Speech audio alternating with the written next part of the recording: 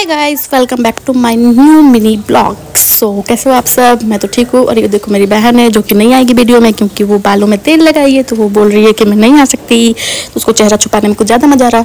तो अभी हम जा रहे हैं गुपचुप खाने, क्योंकि मैं जितिया का फास्ट की थी तो मेरे को बहुत ज़्यादा खाने का मन किया। कुछ चटपटा सा, और ये क्या? मेरा कैमरा ब्लर हो गया।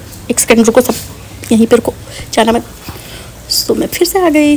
और देखो, यहाँ पे मैं निकल चुकी हूँ गुपचुप खाने के लिए। आज का मौसम बहुत ही ज़्यादा सुहाना है, बहुत ही ज़्यादा अच्छा। ऐसे मौसम में तो चाय और पकौड़े खाने का मन करता है, मेरे को गुपचुप खाने का मन किया और मैं यहाँ पे गुपचुप खा चुकी हूँ। और मैं सोच रही हूँ, क्यों ना मैं अपनी बहन की वीडियो थोड़ी बना लूँ, लेकिन वो मेरे से भाग रही है।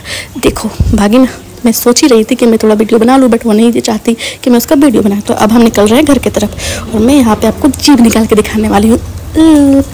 मैं यहाँ पे देखो सुअर की तरह मूवी बना रही हूँ तो सबको राधे राधे टाटा बाय